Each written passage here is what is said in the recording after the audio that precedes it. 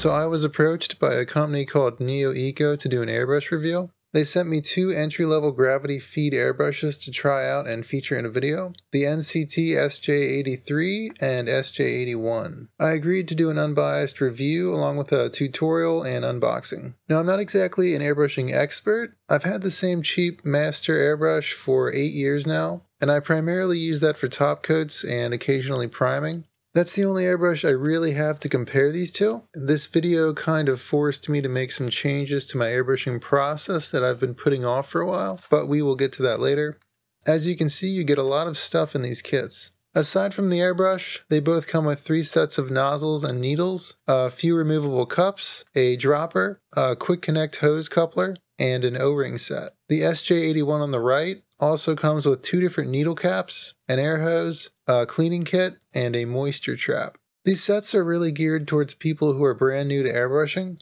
The main difference between these two airbrushes is the nozzle type. The SJ83 on the left has a larger nozzle that doesn't screw into the body like a traditional airbrush has. Instead it nestles in between the cap and the needle, which I think is a pretty nice design with one kind of major flaw. The SJ81 on the right has a traditional screw-on nozzle Neo Eco has some pretty great diagrams of these nozzles on their product listings. If you're an airbrush noob, don't be intimidated by the many tension knobs. The one in the front acts as a secondary way to adjust your air pressure. The knob in the middle adjusts the trigger tightness, and the one in the back acts as a trigger limiter. I decided to just jump right into using these and see what kind of paint job I could achieve. In this video, I'll be painting up some models and terrain for the game Idols of Torment. I wanted these models to have some dramatic lighting effects, so I primed them black and shot a gray primer over them to get a sort of dramatic spotlight effect. For the lost models, which are the game's wandering objectives, I went with a monotone blue color scheme, giving them a tormented spectral look. I was having some spattering issues with the primer, I'll get to that later on as well. I went back and forth building up the lights and darks to get some high contrast. I had to do a bit of dry brushing with white paint on the lost models to get that spotlight effect. For the idols, I'm painting up the Scorn. For these models, I tried to get a Zenithal Prime with the airbrush. Again, having some spattering issues there. Oh, God. I airbrushed Cloudburst Blue around the bases, leaving a lot of overlap around the model's legs. Then I went in with some Skeleton Brown on everything else. I layered Goth Skin over that sporadically to add some bloody, fleshy tinges here and there. Next, I painted the chains with polished silver. No way was I going to attempt to airbrush that on. And finally, I airbrushed some blood red on their gory torsos. For the candles, I just used red paint and zealot yellow over white. For Idols of Torment, it's recommended that you use round bases for the terrain. I didn't film the crafting process for these, but I am really happy with how they came out. This is just going to show a portion of the painting process. Super simple, a dry brushed Zenithal Prime, then a couple different colors blended together with an airbrush for the undertones, and black ink sprayed over top of that to join everything together. For the torches, I painted them white and again used Zealot Yellow for the flame letting that color spill over around the light source. If you want to learn more about this process, check out Blackmagic Craft, the creator of the game. He has a few videos for his recommended terrain process for Idols of Torment. Here's what I was able to achieve with these right out of the box. It almost feels like I could end the video here, but it wouldn't be much of a review, would it? I wanted to address some of the issues I had with these airbrushes, and while I'm doing that, we're going to paint up a second batch of idols, because I need the practice. One of my biggest pain points was how these self-centering nozzles are hard to clean once they get clogged up. Due to the way they're designed, there isn't really an easy way to clean out debris on the inside of the tip. You're better off just avoiding clogging altogether, which is the case with any airbrush, but man did I have a heck of a time trying to get footage of this process while keeping the paint from drying out inside the nozzle. To combat the clogging and the previously mentioned spattering that I was having issues with, I bought some flow improver and added a few drops to each cup of paint. Thinning the paint really helped with most of the products I was using, but not with the gray surface primer, which spattered horribly and continued to clog the airbrush. And it's clogged up again. Look at that. yeah, this thing gets clogged up really easily, and it's just impossible to clean out. I gotta say the surface primer might be partially to blame here. I came to the conclusion that my white and gray surface primers were not airbrush friendly and tried using white paint over the black primer instead, and that worked. The flow improver really helped me get the right viscosity and not have to constantly worry about the paint drying out. I've always been a thin my paints with water kind of guy, and uh, that usually works, but it's nice to have a specially formulated airbrush medium. Some of the O-rings refused to seat properly, like the one in this leaky quick connect coupler. I don't know if you can hear that or not, but it's leaking air here. For that I just used some Teflon tape, easy enough.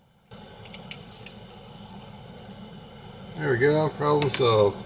I also wanted to note how small the paint chamber is on these airbrushes compared to my old master brush. I think that makes them harder to clean out, but maybe that's just me. The holding angle is a lot steeper on my old airbrush, which I kind of prefer, for miniature painting at least. Personally, I like to aim the airbrush downward, and the design of the Neo Ecos makes that a little harder to do. But I will say that Neo Eco does have a similar model to this master airbrush. The biggest issue I had was just getting the SJ81 to work. It wouldn't even spray cleaning solution consistently. Until I tried using the 0.2mm needle with the 0.5mm nozzle, that was the only way I could get it to function normally. I may have gotten a defective airbrush. I'm confident that Neo Eco would have sent me another one out, but I don't really have the time to wait for that, and I definitely liked the nozzle design on the SJ83 a lot better. I would recommend that one either way. As long as you can keep it from getting clogged up, it's a pretty good design. Properly cleaning out the airbrush after each cup of paint is essential. Also just figuring out which products to avoid. If you're having issues with clogging, try thinning the paint, and if that doesn't work, just move on to a different product. They also sent me this cleaning pot. You can really see the particulate just go right through this thing. Can't say I'm really impressed with that. In future videos, you're probably going to see me use the backflow technique to clean my airbrush. I think that would have helped with the clogging issues I was having. There's a channel called Impending Duff that has a pretty good video on that. I'll link to that down below. Also, proper ventilation is essential. I was in the process of upgrading my studio and I didn't really have a good way to vent the airbrush spray for the first batch of models in terrain. I was dealing with some serious particulate plumes, and that's just no good. I ended up setting up a cheap air purifier as a temporary solution. I just made sure to spray as close to that as possible so it would suck up the paint. So yeah, as you can see, most of the issues that I was having weren't even really airbrush related. It was more just about me improving my process and using the proper products for airbrushing.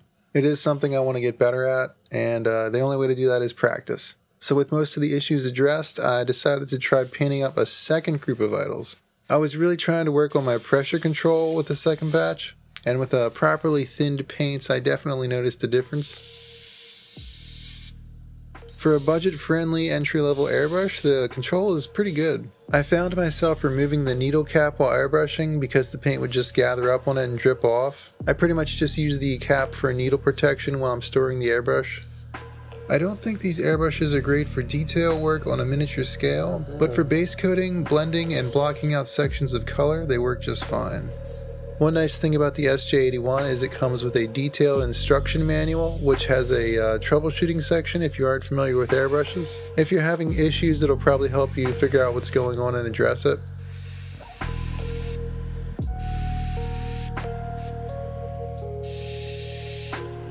So here's the second batch. Is it going to win any awards? Uh, probably not, but uh, it's going to look pretty great on the tabletop.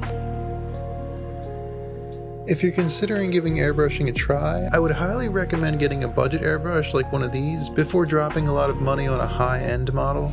You might be blown away by the results.